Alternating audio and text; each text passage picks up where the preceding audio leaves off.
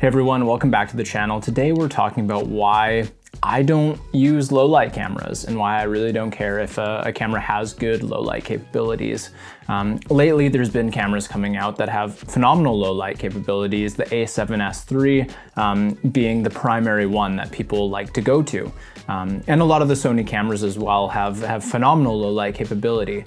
The appeal of having a camera that can see in very low light situations um, it does appear to be a big draw. Um, instead of getting noisy images, images that have that, that awful little digital noise that gets added when you boost your ISO, um, you get to have that completely clean when you shoot in very low light situations. Now for me, although I understand why that's appealing, I don't personally care about that. And the reason behind that is because 99.9% of the time, if not 100% of the time, I'm actually lighting my shots myself. Um, and, and this doesn't just stand for corporate work. I also do this for weddings or, or pretty much any other shoot. Um, I'm either using lighting modifiers or I'm bringing in my own lights. Um, and so that kind of, for me, takes away the need for low light because I'm typically in control of how exposed my image is simply with the lighting.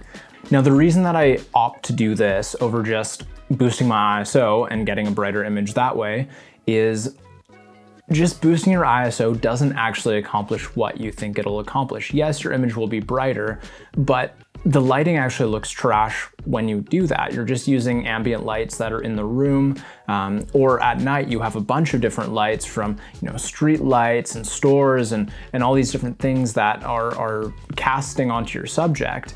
And that actually isn't what you want because you don't know what color temperatures those are gonna be. You'll probably have a lot of mixed color temperatures. Um, you'll probably have a lot of harsh lighting. And, and, and these are qualities of light that you don't really want in your image. Um, typically what you want is you want nice soft looking lighting. Um, even if you have pretty harsh lighting, when it's casting on skin tones, you, you usually do want to soften it off um, at least a decent amount. Really, really harsh light typically does not look good on your subjects. And so we want to soften that light off. We also want it to be coming from the right direction. We don't want it to be coming from, you know, below your subject or above your subject, um, or even, even the wrong angle from the side can, cannot look the best. And so we want to be in control of direction of light, where that light is actually falling on your subject. The third thing is we want to control the color of light. Um, if you know anything about white balance, you know, tungsten lights, indoor lights tend to sit around, you know, 34, 36, um, 100 Kelvin, and then daylight tends to be around 5,500 um, or sometimes up to 6,000 Kelvin. And so typically you want to be in control of that. You want to know that what's white in your image is actually reflecting as white, that your camera actually sees it as white. And so that means that your, your white balance and the color of your light should actually be in sync. If your white balance is 5500, then the light should actually be 5500. You should be able to see white as white in your image. And there are exceptions for this. Sometimes you want stylized images, you're using RGB lights. You know, you have a scene in your shot that is at a party and there's a dance party and they have all those, you know, DJ RGB lights that are going on and for the application it makes sense. Um, so yeah, there are exceptions, but for the most part, you know, 80 to 90% of the time, you're wanting your whites to read as white. And so for me, it's very important that my lighting is predictable, that I know that what's coming out of my lights is what I can set my white balance to, and that's gonna be the easiest way to get well-colored images. And so that's the issue for me with low light cameras is it doesn't actually fix any of the issues that I'm trying to avoid.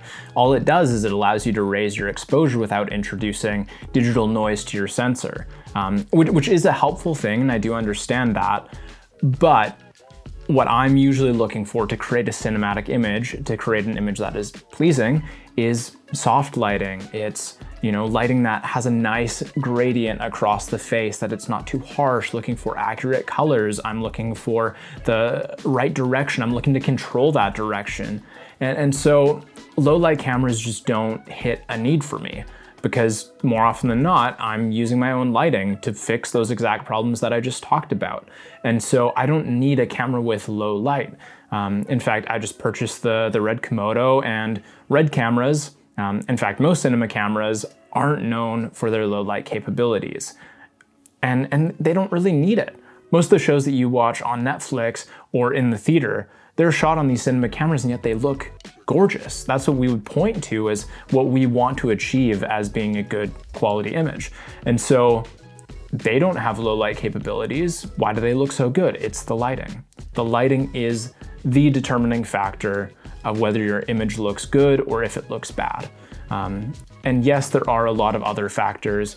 I would say that from a cinematographer's perspective, lighting is the foundation. Yes, there's so many things you can build upon after you have that. Um, and, and there's so many things that go into a good looking image as far as composition, dynamic range. There's all these different things that make a shot visually pleasing.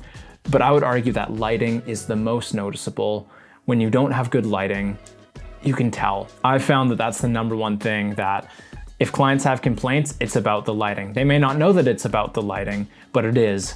They, they often are asking for, what, you know, the, why does the shot look so, their skin tones just look very oily, or there's, you can see every pore in, in their skin, or, you know, it just, it, it doesn't look very flattering on the person that we shot. And, and usually the answer for that is lighting. If we had proper lighting, then the image would look phenomenal. It would look great because we get to soften off those shadows, make it look very flattering, very pleasing. Um, and so that's what I have found to make the biggest difference in my work is tackling lighting and making sure that I give um, my attention to that. And so low light, I don't need it. I don't think most people uh, uh, need it. And so that would be my advice. There's nothing wrong with purchasing an A7 III, and there are scenarios where its low light capability will save you.